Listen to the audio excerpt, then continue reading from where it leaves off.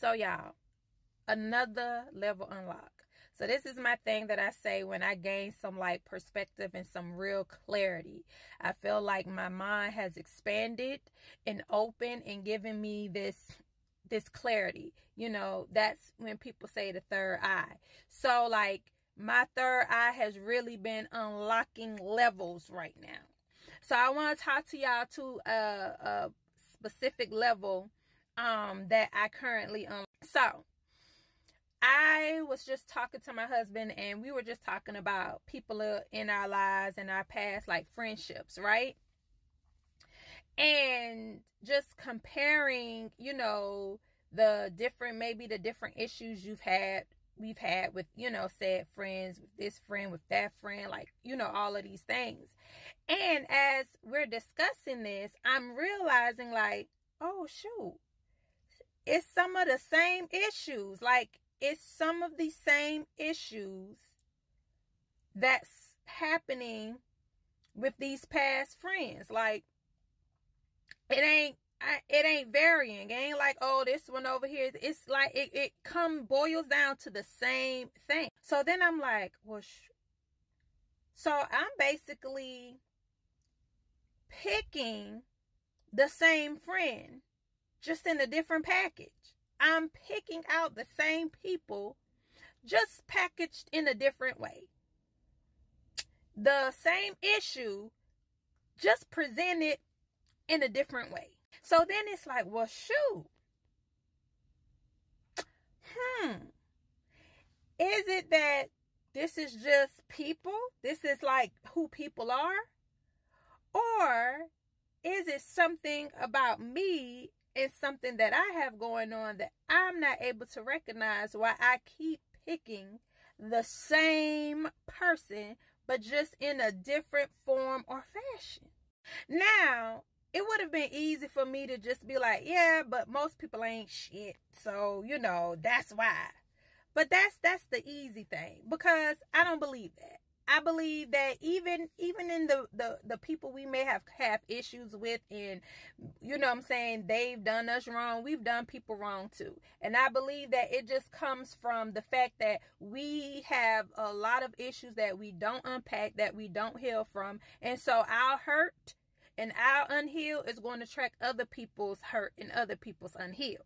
But I digress. Let me get back to so well, I guess I really don't digress because what I just said has a lot to do with this. Because what I recognize is it was really me. It's not these people. It's really me. It's really me.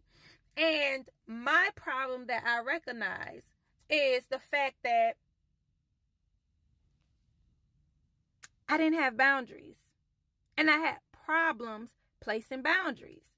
And because I didn't have boundaries, I expected people around me to create some type of boundaries for me, which is not their place and it's not their job, nor is it their responsibility. So, if you don't have boundaries, you're going to deal with people who not going to respect you or boundaries because you don't have none. What is there to to to respect? So if I want to call you last minute to come do something and I don't prepare you, I don't give you a heads up and I call you last minute and you jump up and you do it, then that's what I expect. So I'm going to keep doing it. And you then can't just decide one day, well, you know what? Why do you keep calling me last minute to come hang out and do stuff with you? Why can't you give me a prep? Why don't you tell me what this? Because you haven't said it, ho. You haven't set the boundary.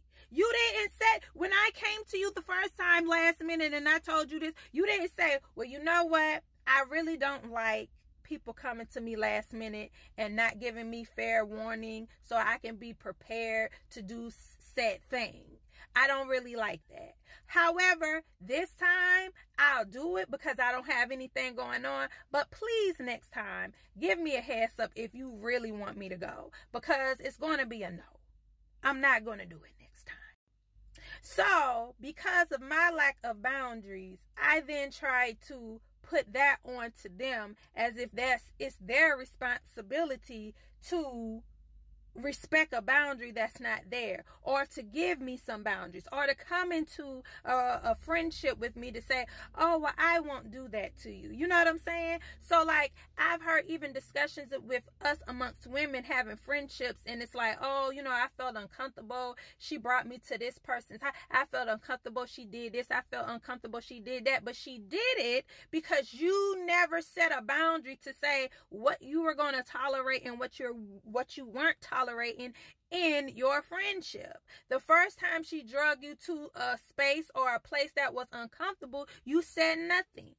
You said not a word. When the first time she told you she was going to take you someplace and you was like, I don't know, shit. girl, you going to be fine. You didn't express and set the boundary like, girl, I don't play them games. I don't do that. I'm not going here. I'm not doing that. I'm not doing that. I don't feel comfortable. Like, this is my boundary.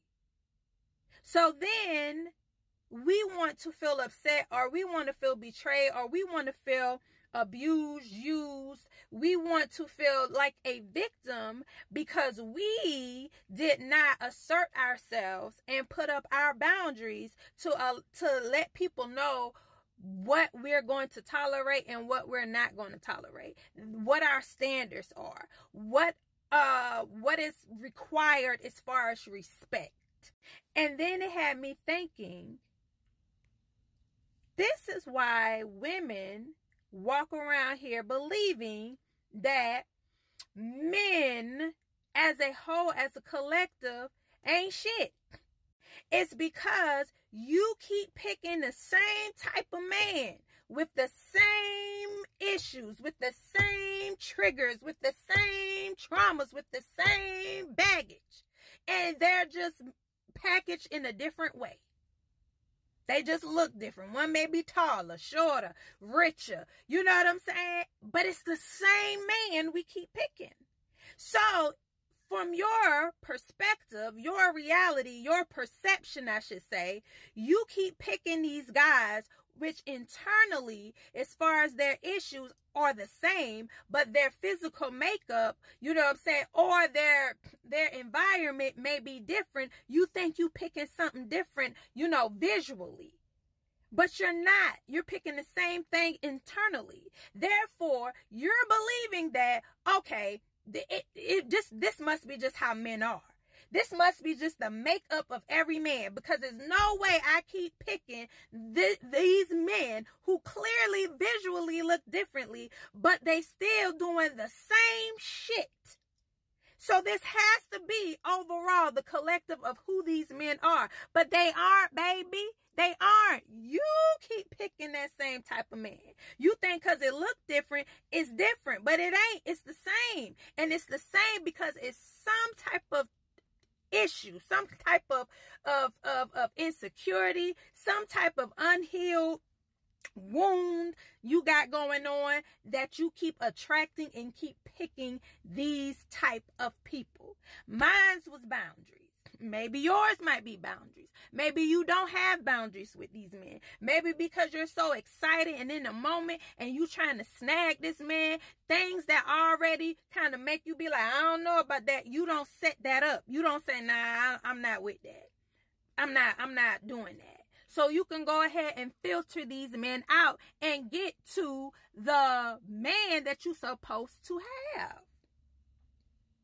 So it's really you. It ain't the man. You keep picking this same man.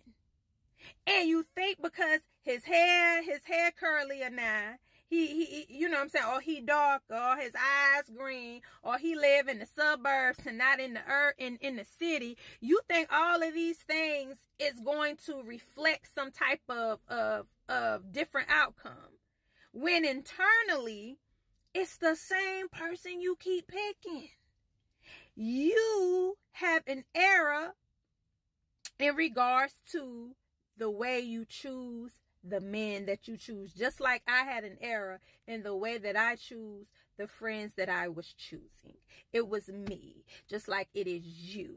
So now go figure out and go find out why it's you. Go find it. Go, go, go, go, go. Go find